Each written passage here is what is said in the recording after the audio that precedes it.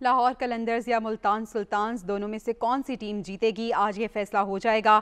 लेकिन जो शायकीन क्रिकेट हैं, वो खासे पुरजोश हैं और अपनी अपनी टीम को सपोर्ट करते भी नज़र आ रहे हैं। हमारे नुमाइंदगान दोनों शहरों से हमें अपडेट करेंगे। बिलाल अकील लाहौर से, जबकि वसीम नासर मुल्तान से हमें अपडेट करेंगे। लाहौर का रुख कर लेते हैं।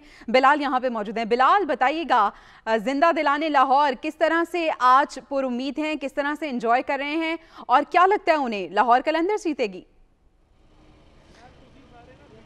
जी बिल्कुल पी एस एल सेवन का जो मेला सजा हुआ है, वो, उसका फैसला आज होने जा रहा है कि कौन सी टीम ये टाइटल अपने नाम कर पाती है।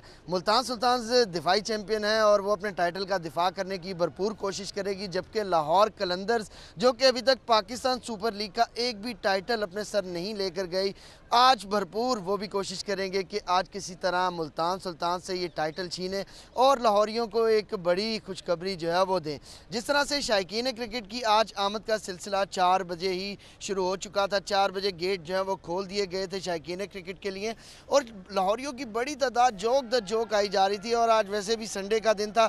तो कई हमने शायकीन क्रिकेट ऐसे देखे जो सुबह दस, ग्यारह बजे से ही यहाँ पर आए हुए थे और उनका था कि किसी तरह स्टेडियम के गेट खुलें और वो स्टेडियम में जाकर बैठें क्योंकि उनसे मज़ीद इंतज़ार नहीं होता। इसी तरह शायकीन क्रिकेट के हमने देखा कि जब भी लाहौर के मैचेस हुए हैं तो हाउस फुल रहा है। इसी तरह आज ग्रैंड फाइनल है। दोनों टीमों में से कोई एक आज पीएसएल का कप जो है वो अपने नाम करेगी और इसी तरह अगर देखा जाए तो शायकीन क्रिकेट की बड़ी तादाद शायकीन क्रिकेट की बड़ी तादाद मौजूद है और अपनी टीम को सपोर्ट किया जा रहा है। मुल्तान का रुख कर लेते हैं। वसीम बताइएगा मुल्तान में जो शायकीन क्रिकेट हैं वो कितने पुरजोश हैं और कितनी उम्मीद है उन्हें आज मुल्तान सुल्तान के जीत की?